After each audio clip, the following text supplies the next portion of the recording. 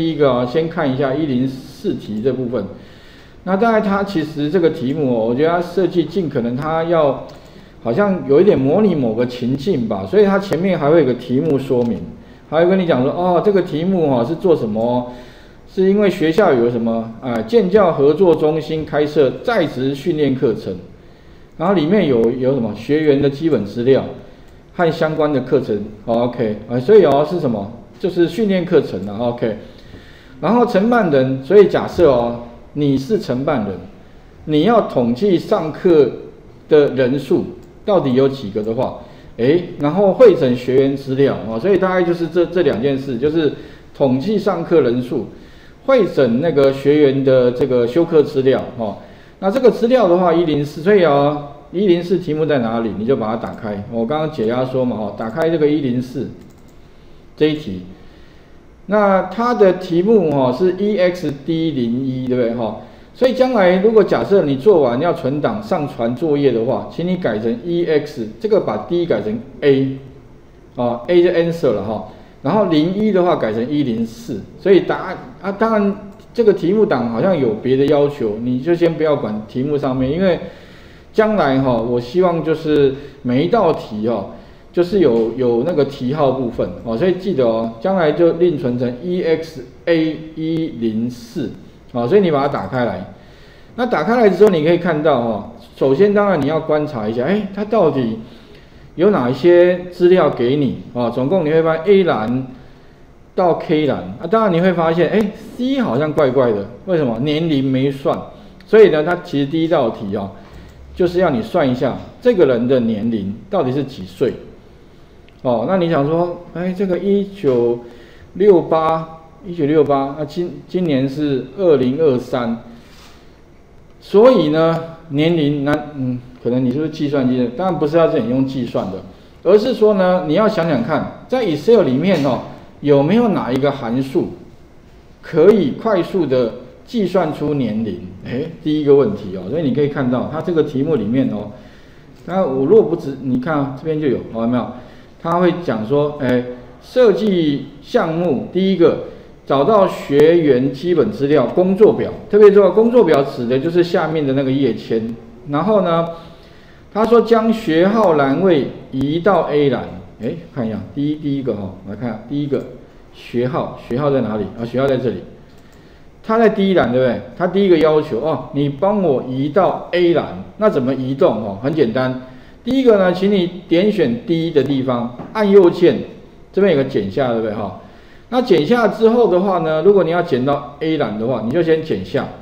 剪完之后的话呢，请你再选你要插入到 A 栏前面，所以你就点这边，然后按下滑鼠右键，你会发现哦，贴上本来是贴上，但是这个时候呢，你刚刚因为有选的第一栏，所以它出现的是什么？插入剪下的储存格的选项，所以你就可以什么？哎，我要把它放在 A 栏的前面的话，那你就点 A，然后点这个。把它移到前面去哦，这样的话你会发现，哎，学号就被放在那个姓名的前面。那你会发现，本来姓名是在 A 栏，哎，就被挤到右边去了。OK，第一第一个题目哈。那第二个题目的话呢，他说要利用几个函数，他会有一些要求啦。哪个要？就是，哎，总共利用哦，dative 跟 today。计算年龄，而且格式哦，需要显示几岁？哎，几岁？那你想说，老师，那如果我不用 dative today 可不可以计算？当然可以啦。如果说，假如你不用 dative 哦，其实你可以用 year 的函数也可以做得出来。比如说我今天，呃，怎么计算比较？其实比如说今天，如果你要取得这个的年龄的话，哈，有个简单的方法，就是你插入函数。插入哎，邮票放这边有吗？年龄插入函数，那你可以找到什么呢？找到日期时间。日期时间这个函数哈，里面的话基本上就是关于日期跟时间的计算。那其中要计算年的部分呢，因为我只要取年的部分嘛哈，所以你就可以什么找到 year，里面有个 e 函数。那 e 函数如果你给这个日期，它得到的就是什么？它就会直接帮你取得年的部分，就一一九六八，有没有？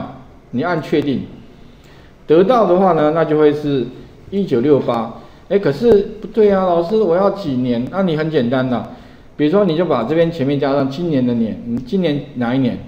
二零二三减掉，也就是今年减掉，呃，他的出生日出出生年嘛，哦，你打勾，那你会发现哦，得到的结果呢，它就会出现错误讯息。那你想说，老师为什么这个是什么错误讯息？跟各位讲哦。以后如果你看到，假如说都是井字号的话，表示这个栏宽不足，你只要把栏宽拉宽就可以，它就正确。可是你想说，老师不是几岁吗？为什么他是哪一个年哪个月？哦，因为他误判了，他以为说你这边要显示出日期格式，所以如果你要把它改成正确的年龄的话，按右键储存的格式，你可以把它改成什么通用就可以了。因为他误判嘛，他以为你是日期，他就自动哦帮你改成什么，改成日期了，那就错了。所以怎么办？没关系，改回通用就可以了。那你会发现哦，按确定之后，这边就出现五十五岁，有没有？向下填满，全部就 OK 了。哎，可是哦，跟各位讲哦，如果你用这个方式计算的话，它有个缺点，什么缺点呢？就是哈，他的生日。不管有没有到，都会加一岁。也就是说呢，像这个呃，现现在是几月？现在二月嘛，哈。可是现在，假如他六月出生的，实际上啊，如果严格讲起来哈，他还没到，他生日还没过，所以他还没有满五十五岁，他应该是五十四岁多，还没有满五十五岁。所以啊，如果你假设用一耳的话哦，他不管月跟日哦。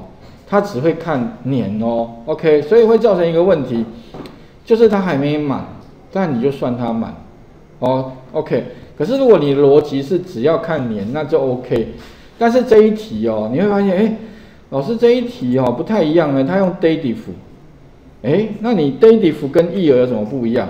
其实 dative 这个函数哦，它的跟 EAR 最大的差别哦，就是说它除了会看年之外，它还会看月跟日，OK，我们来试一下啊。如果假设我刚我这个 EAR 哈，那我把它旁边呢再插入一栏好了，做做一个练习。好，比如说这个一样是年龄，但是我用的我用的函数哈不是用 year，我是用那个 dative 的话，那接下来的话呢，dative 啊等于特别注意哦，dative 比较特殊一点，就是说。它在插入函数的时候，这边在清单里面并不会出现 dative，可是你可以用打的，哎，OK 好，所以哦，我们来试一下，等于等于这，所以哦，不能插入，你要等于打一个 dative，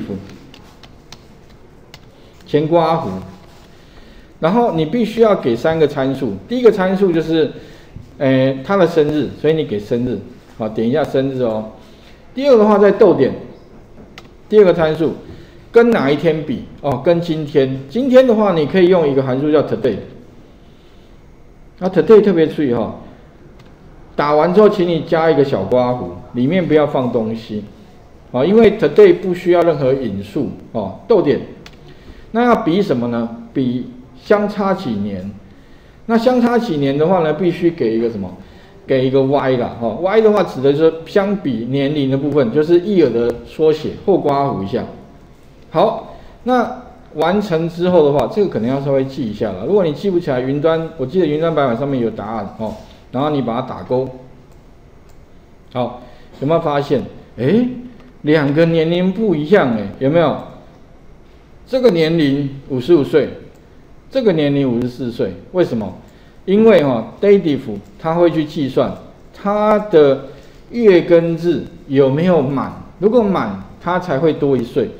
可是如果没有满的话呢，他就不能加一岁，除非说了哈，假设他的生日是二月二月假设改六月改二月好了，因为满的嘛，我现在二月十六哈，哎有没有发现他这个就会加一岁啊？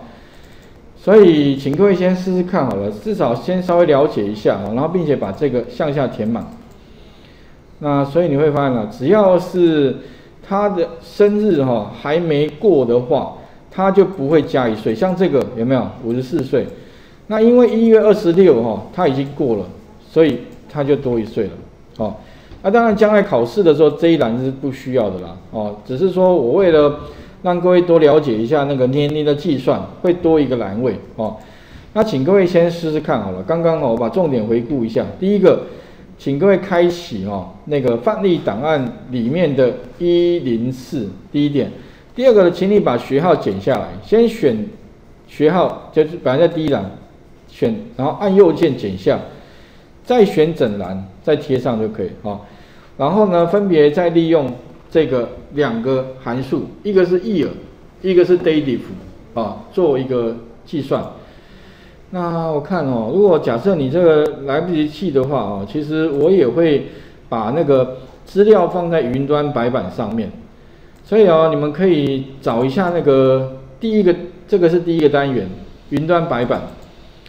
那这边的话就有一零四在职训练班，打开来之后的话，你可以看到啊，这个就刚刚第一一之一的动作在这边，这个是一之二的。